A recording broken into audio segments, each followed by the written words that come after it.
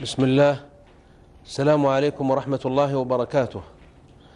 أنا الذي نظر الأعمى إلى أدبي وأسمعت كلمات من به صمم.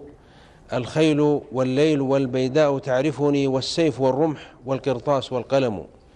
بهذه بهذين البيتين يعرف صاحبنا نفسه للناس إنها بطاقة شخصية. هذا الرجل الشاعر العملاق أسطورة. والأسطورة إذا تقال إذا بلغ الرجل أو بلغت الرواية أو الكتاب حدا لا تصدق في الإبداع ويسمونها الخرافة ولو أنها عند بعض الناس غير الحقيقة. ولكن نبدأ مع هذه الأسطورة في هذه الليالي وهذه الحلقات. نعيش أدبه نعيش شعره نعيش حكمه نعيش لموعه وصخبه وضجيجه. إنه شاعر حرك الساحة وكتب في الأذهان شعره وأرسل للناس حكمه. إنه الذي سارت بشعره الركبان وسمر الحكماء على أشعاره وملئت بحكمه الكتب حتى يقول وما الدهر إلا من رواة قصائدي. إذا قلت شعرا أصبح الدهر منشدا فسار به من لا يسير مشمرا وغنى به من لا يغني مرددا أو مغردا. هذا الشاعر ملك زمام الناصية حتى إنه بعض الحكماء يقول إنه إن مصيبة هذا الشاعر أنه أفسد شعر الآخرين لأنه مثل ما قال النابغه وإن فإنك شمس والملوك كواكب إذا طلعت لم يبد منهن كوكب. إنه أخمل معاصريه وقبل معاصريه. ولذلك شرح ديوانه أكثر من ثمان شارحا لهذه الجواهر التي قدمها للناس وأبدعها. حتى يقول بعض العلماء الشعراء يمشون والمتنبي وصلنا الآن المتنبي إلى أبي الطيب فهو أما هو فيطير.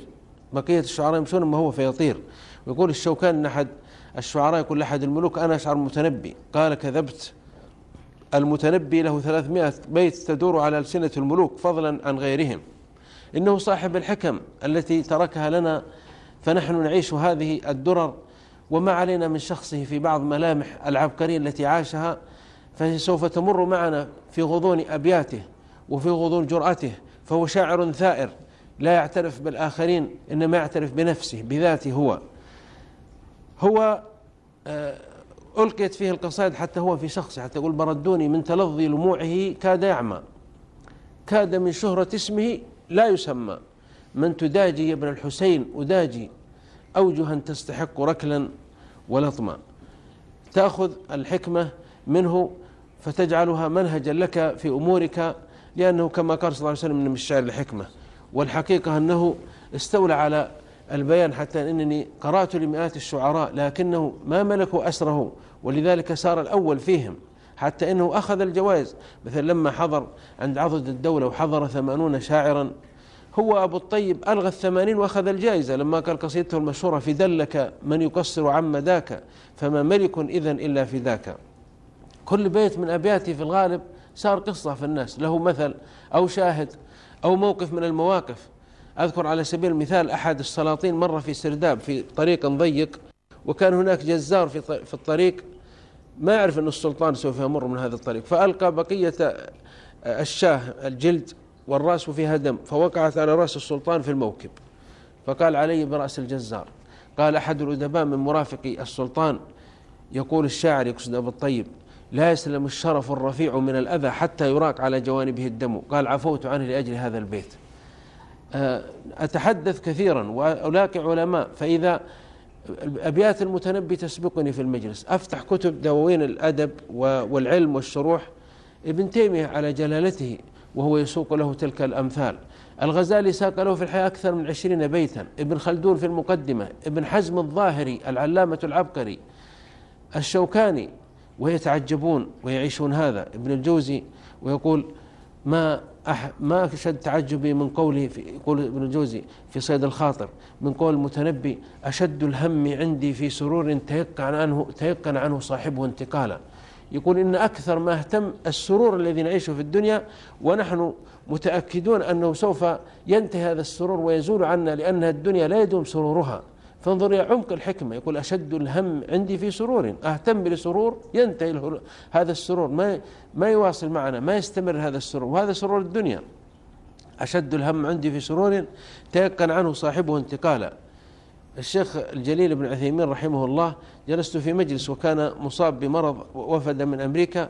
قال ما أخبار الشعر يا فلان؟ وما كان يناسب أنني أذكر له بعض القصائد والأخبار لوضعه الصحي. قلت والأبيات المتنبي المجد عوفي إذ عوفيت والكرم وزال عنك إلى أعدائك الألم وما أخصك في برء بتهنية إذا سلمت فكل الناس قد سلموا. وهذه له هو قالها في سيف الدولة. يوم مرض سيف الدولة يقول المجد عوفي إذ عوفيت والكرم. يقول أصلا مرض المجد لما مرضت فلما عوفيت الحمد لله عوفي المجد وعوفي الكرم وأصبحوا الحمد لله في صحة وزال عنك إلى أعدائك الألم. وما خصك في برء بتهنية يقول أنا إذا هنيتك في البر هذا والعافية. إذا سلمت فكل الناس قد سلموا. يمضي معك حتى في كتب الفقه في كتاب المثيمين الدماء الطبيعية يقول الدماء تختلف من من شخص إلى شخص وامرأة إلى امرأة وتختلف أنواع الدماء كما يقول متنبي وإن تفك الأنام وأنت منهم فإن المسك بعض الدم الغزالي. لأن آه، في سرة المسك أحيانا تجتمع هذه السرة ثم تسقط في جبال الهند. فيأخذونها السرة تسمى فروة المسك الغزال. فيأخذون في يصير أحسن الطيب وهي أصلها من دمه. فيقول أنت يا سيف الدولة إذا منك فكت الناس فالسرة هذه من دم الغزال وصارت طيبا ومسكا مثل ما صرت أنت في الناس طيبا ومسكا وصرت علما. حتى يقول وإن تفك الأنام وأنت منهم فإن المسك بعض دم الغزال. وأيضا يمجد في قصيدة ثانية لكن انظر الحكم انظر الإبداع انظر إلى هذا الفيض الفيض العبقرية الذي أعطاه الله سبحانه وتعالى هذا الرجل. حتى يقول هو العين. لا هو الجد حتى تفضل العين أختها. وحتى يكون اليوم لليوم سيدا. يقول هذا فضل وحظ من الله. الله يعطي بعض الناس حظوظ كحظ سيد الخلق عليه الصلاة والسلام وحظ الخلفاء وحظ الفاتحين وحظ المصلحين. فالناس سواسية لكن الحظ الأيام الجمعة تختلف عن غيرها. عرفة تختلف عن غير البيت الحرام. قال هو الجد يعني الحظ حتى تفضل العين أختها. يقول العيون سوا لكن بعض العيون أحسن من بعض.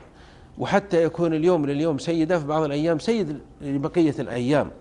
هذا الشاعر يعني شرح ديوانه ولكنه إلى الآن لا زال حيا في ضمائرنا وسارت حكمته في الناس إلى درجة أنني قرأت أن بنبيدو الرئيس الفرنسي أمر أن تكتب ترجمة بيت المتنبي على الدبابات الفرنسية وهي ولم أرى في عيوب الناس عيبا كنقص القادرين على التمام يقول أكبر عيب عندي هؤلاء الأذكياء والمقتدرين أن يكونوا ناجحين ولكنهم يقصرون عن النجاح يعني عندهم مواهب يستطيعون بهذه المواهب أن يكونوا مبدعين وأن يكونوا مؤثرين ولكنهم للأسف قصروا بالكسل يقول ولم أرى في عيوب الناس عيبا كنكس القادرين على التمام. هذه حكمة تركها لنا ليقول للناس هيا بادروا هيا حاولوا أن, أن تؤثروا لا, لا تتركون المجد ولا تقصرون على المجد. وهو دائما كما قلت لكم آه، يعني يفتخر بنفسه ويتحدث عن نفسه مثل يقول يطاعن خيلا من فوارسها الدهر في ذيوع يعني أو أن فيه يسموه هذا تمرد الشاعر الثائر هو حتى أنه يقول يا كم قتلت ويا كم مت عندكم يقول الحسان. ثم انتفضت فزال القبر والكفن. يقول إنكم أنتم من وشاية تحبون يموت لكنني ماني بموت. أنا ماني على كيفكم. أنا أنتم تخبرون الناس تقولون إني, إني مت. قال يا كم قتلت ويا كم مت عندكم. ثم انتفضت فزال القبر والكفن في قصيدته اللامعة الذعلي بما التعلل. لا أهل ولا وطن ولا نديم ولا خل ولا سكن. يا كم قتلت ويا كم مت عندكم ثم انتفضت فزال القبر والكفن كنت ألقي درس قبل 15 سنة فجاءني خبر شائع أن الشيخ علي الطنطاوي غفر الله الأديب المشهور توفي. كان مريض. فترحمت عليه لأنه جاء عدة أسئلة والإنسان طبعا لا يعلم الغيب. فدعونا له في الدرس وبصله الخبر. ولما زرته في مكة قال أنت الذي أشعني مت. قال يا كم قتلت ويا كم مت عندكم ثم انتفضت. المتنبي يتحدث عن نفسه دائما وهو يرى أنه هو الواجب أن يعتنى به وأن يحتفى به وأن يكون الرقم الأول الذي يعني يتعامل معه وأن يحترم الناس هذا الإبداع الذي أتى به ويرى أن الناس يظلمونه وأن الناس ضده جميعا. وهذه أحيانا العظمة أو جنون العظمة تصور الإنسان أنه هكذا أنه مستهدف وأن عقدة المؤامرة تدور حوله. فلذلك يقول أطاعن خيلا من فوارسها الدهر وحيدا وما قولي كذا ومع الصبر. يقول عندي أعداء كثير من ضمنهم الدهر فأنا أطاعنه وأطاعن الأعداء وأنا سوف أغلبهم وأغلب الدهر معهم وأغلب الزمان. و ولن أقول لماذا؟ ولا أقول أنجدوني لأن عندي الصبر معي الصبر. وأشجع مني كل يوم سلامتي. يقول والدليل إني حي. كم يعني يعني تعرضت له من الهجمات ومن من السهام المغرضة من المؤامرات من المكائد لكني حي. وأشجع مني كل يوم سلامتي وما ثبتت إلا وفي نفسي أمره يقول سلامتي وبقائي ما ثبت إلا لعظمتي أنا وسر وسر يعني قوتي. إيه، وهذه أبياتنا قوية من ضمنها وأستعظم الأخبار قبل لقائه فلما التقينا صغر الخبر الخبر. وهذه أبيات سائرة حتى أن الزمخشري التقى مع ابن الشجري. الزمخشري صاحب التفسير هذا الإديب الكبير العلامة المعتزلي كان يسمع ابن الشجري النحو الكبير وذاك يسمع بهذا لكنهم ما رأى بعضهم بعضا. لم يكن هناك تلفاز وصور تتناقل وصحف ومجلات. فلما التقى ما عرفه. قال من أنت؟ قال الزمخشري. قال أنت مثل ما يقول الأول. كانت محادثة الركبان تخبرنا عن جعفر بن فلاح أروع الخبر. حتى التقينا فولا والله ما سمعت أذني بأحسن مما قد رأى بصري. قال الزمخشري بن الشجري وأنت مثل ما قال أبو الطيب المتنبي وأستعظم الأخبار قبل لقائه فلما التقينا صغر الخبر الخبر. يقول كنت متهول من أخبار هذا الشخص وكنت مستعجب يعني مندهش قبل أن ألقاه لكثرة ما ذكروا عنه. وأستعظم الأخبار قبل لقائه. فلما التقينا صغر الخبر الخبر. يقول يوم شفته وشفت هذا هذه العلوم التي معه ورأيت هذا الإبداع الذي عنده. وإذا الأخبار كانت أصبحت صغيرة أصبح الخبر هذا الرجل هذا أعظم من الأخبار التي نقلت لنا. وهذا من ضمن أبياتها القصيدة الماتعة هذه. يقول إذا الفضل لم يرفعك على عن شكر ناقص على مكة فالفضل في من له الشكر؟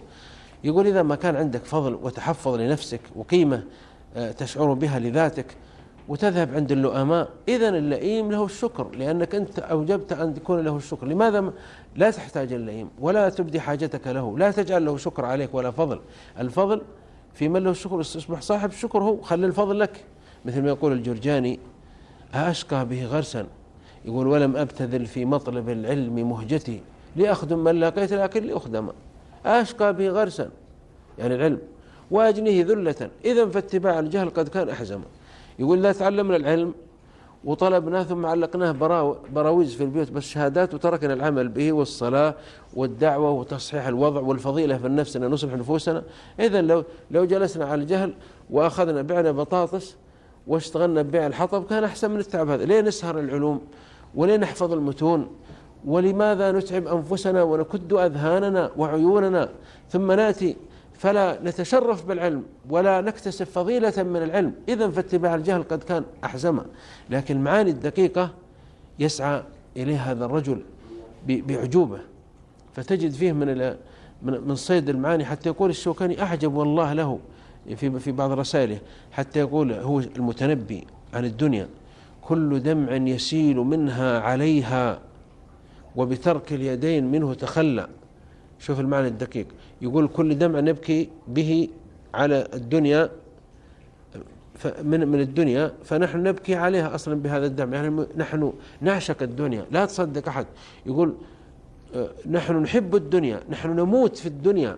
لا تصدق أصلا إن الإنسان يقول والله كرهنا الدنيا وبكى مثلا من من آلامها ومن أوجاعها. يقول ترى يبكي عليها على حبها ترى. كل دمع يسيل منها عليها. قالوا الواحد متشبث مثل الطفل باللعبة. وبترك اليدين منه تخلى.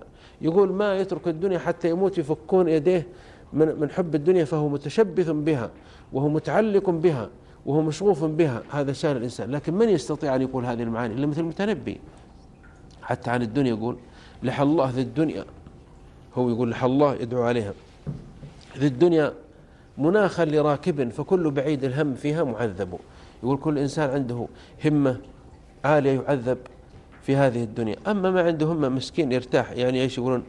إنسان فاشل محبط دبوج ما يهتم أبدا. وتجده ما عليه تفوته الصلاة يفوته العلم تفوته الثقافة تفوته فضائل الأعمال يفوته اسم الجود المدح الثناء الحسن السيرة الجميلة ما عليه.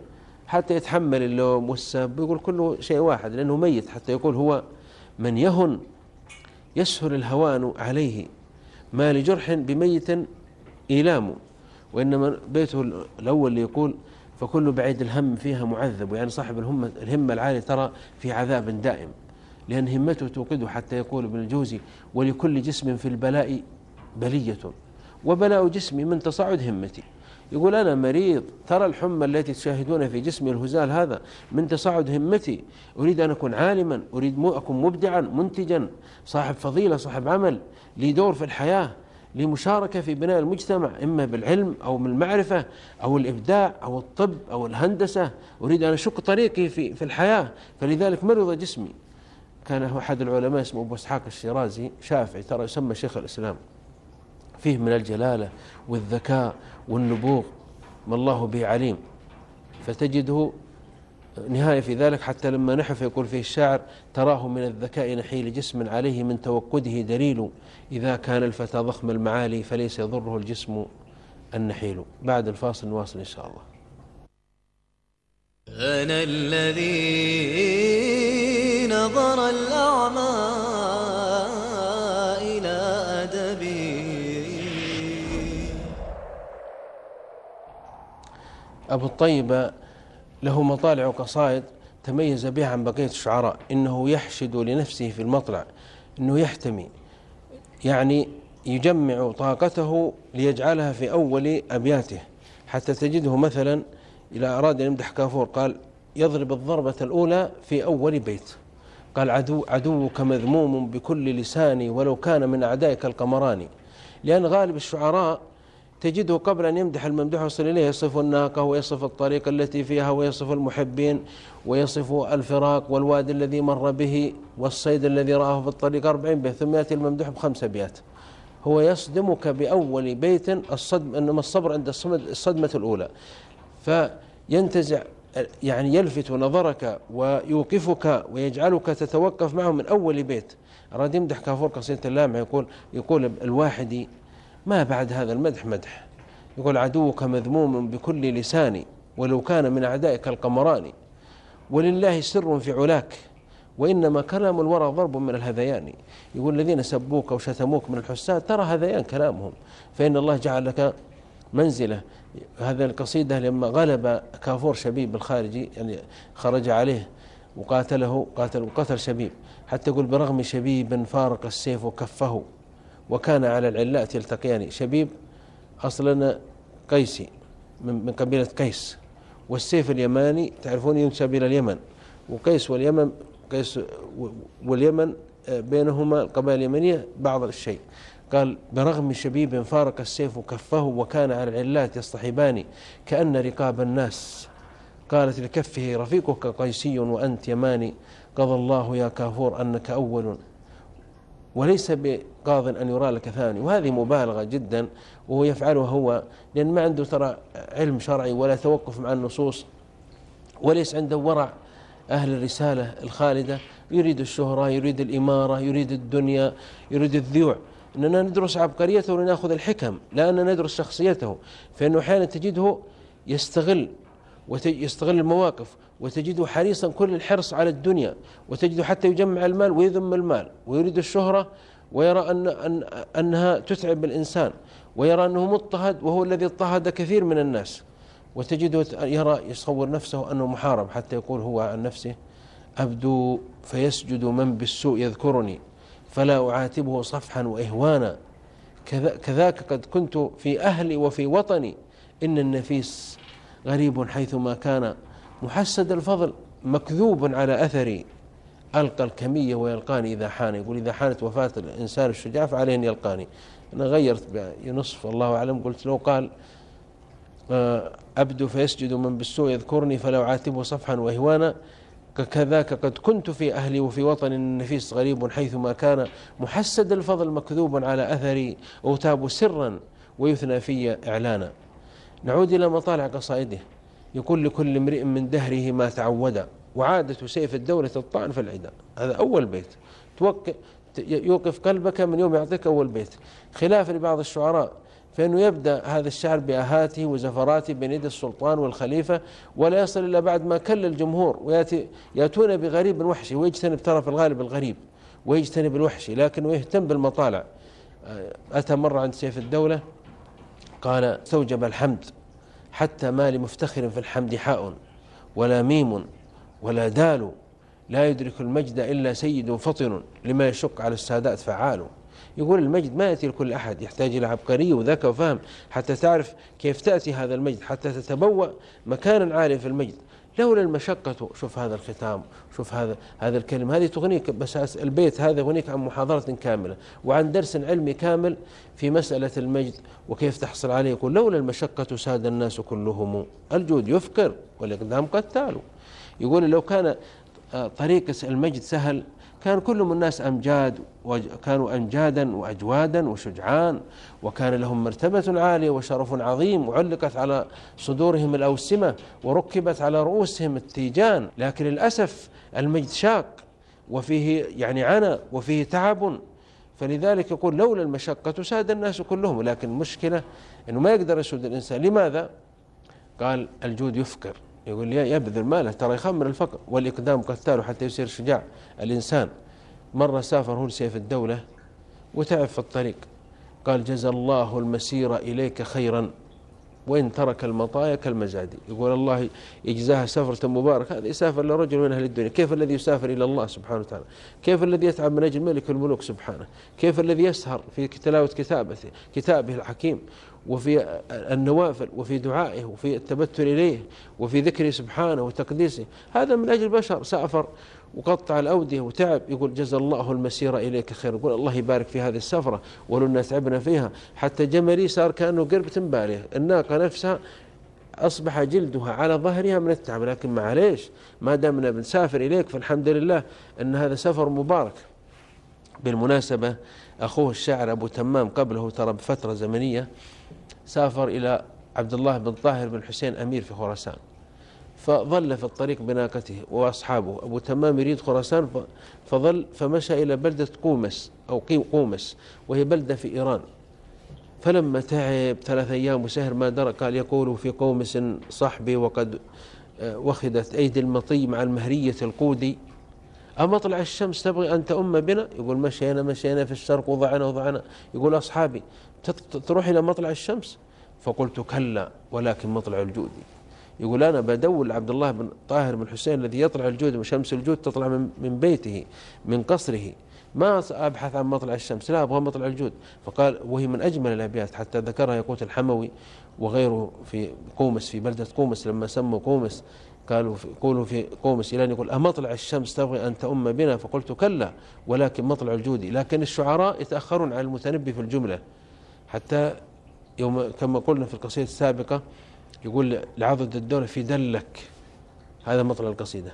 من يقصر عن مداك فما ملك إذا إلا فداك حتى يقول في القصيدة إذا اشتبكت دموع في خدود تبين من بكى ممن تباكى إذا استشفيت من داء بداء فاقتل ما علك ما شفك أخذ الجائزة على عشرين على ثمانين شاعر وتفوق عليهم بهذه المطالع وبهذا الأسلوب.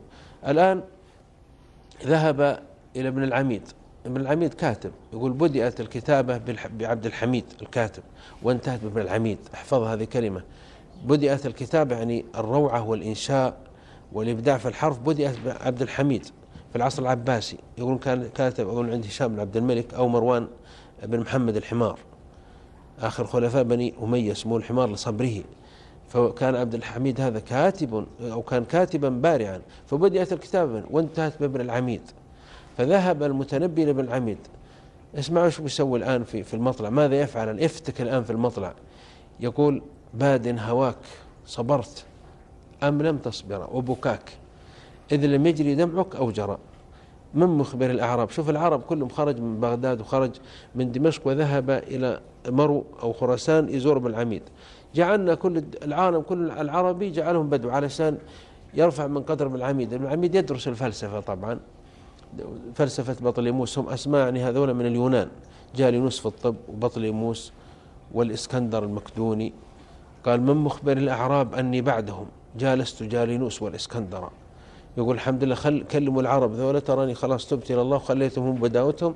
وجيت عند ابن العميد هذا الذي علمه مثل جالست مثل طب جالينوس حتى يقول المتنبي في بيت يموت راعي الظان في ظانه موتة جالينوس في طبه. يقول له سوف يموت راعي الظان مثل جالينوس. هذا يموت وهو عبقري جالينوس وراعي الظان.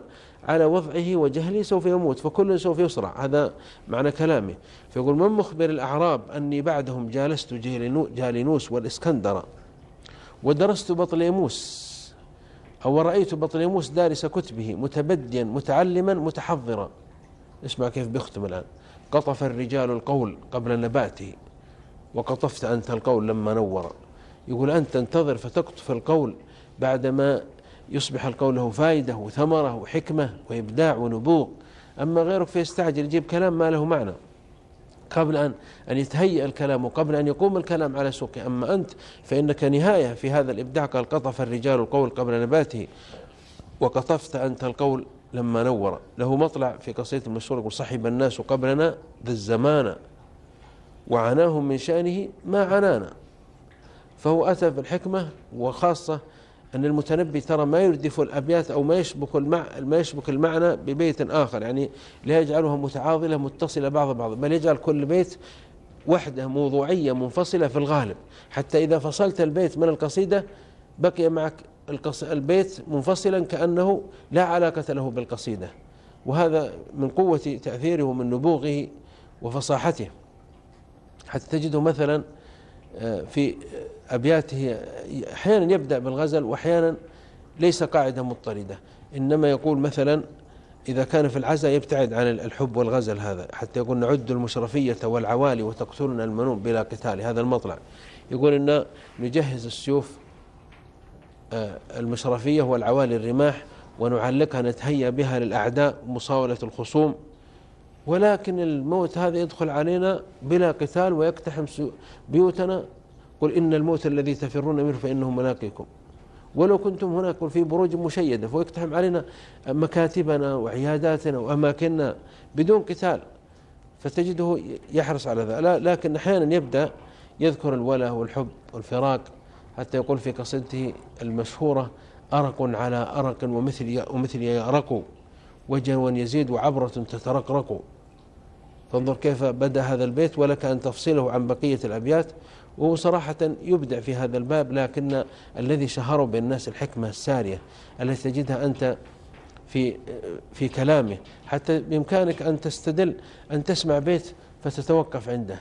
يأتيك خصوم ينالونك وإذا هو عند إذا المتنبي حاضر وإذا أتتك مذمتي من ناقص فهي الشهادة لي بأني كامل يمدح الأنطاكي قاضي يقول علامة العلماء شوف المدح اللي ما وراه.